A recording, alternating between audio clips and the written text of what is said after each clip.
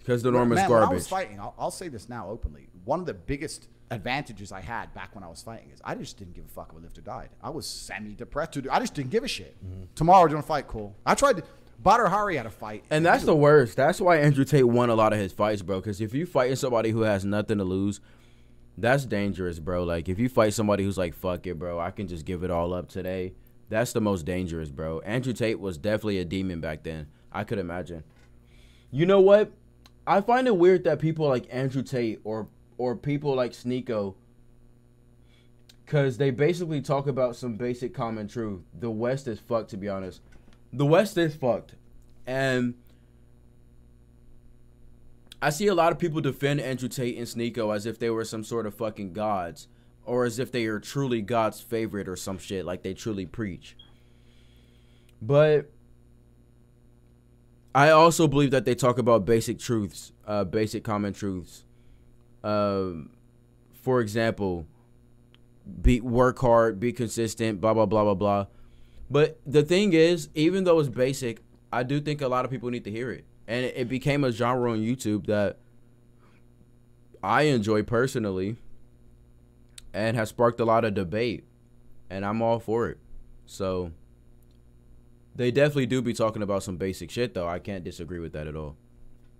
He was here in Dubai against. Um, he fought. He ended up fighting some guy. Badr Hari had a fight. I think it was here in Dubai against. Um, Who? I tried to. Badr Hari had a fight. I think it was here in Dubai against. Um, he fought. He ended up fighting some guy from England. I can't remember his name. Some Russian guy, whatever, whatever. I was trying to take that fight in a day's notice for like ten G's. I was Badr in line for like what, ten grand. 250? Yeah, Badr Hari's massive. He's much bigger than me. I was like, yeah, give me the fight. Give me the fight. Give me.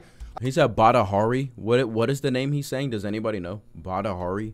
Russian guy, whatever, whatever. I was trying to take that fight in a day's notice for like 10 G's. I was Badr in for like what, 10 grand. Yeah, Badr Hari's massive. He's much bigger than me. I was like, yeah, give me the fight, give me the fight, give me. I just didn't give a fuck, right? Now I got things to live for.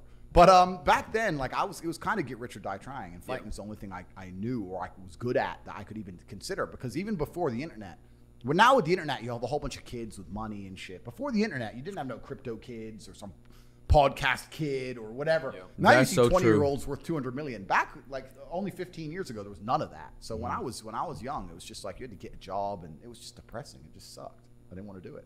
The fucking YouTube game changed it. Huh? Yeah, there's definitely a lot of kids and shit fucking rocking. Uh, I mean, a lot of kids with money and shit. A lot of uh, young adults getting rich fast, and I'm so glad that I never got rich super fast because then I wouldn't have would not have been able to curate my my talent for even longer and become better.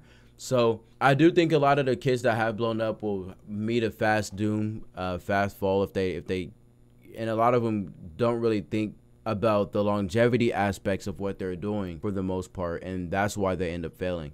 Because no one has a business plan, but everybody wants the money. No one has a business plan, but everybody wants the fame. Nobody has a business plan, but everybody wants to enter the game. And nobody wants to fucking have a business plan, but everybody wants to fucking tell other people who's lame for starting to be in the lane and fucking adjusting the main to try to develop a name. You understand? What a shame.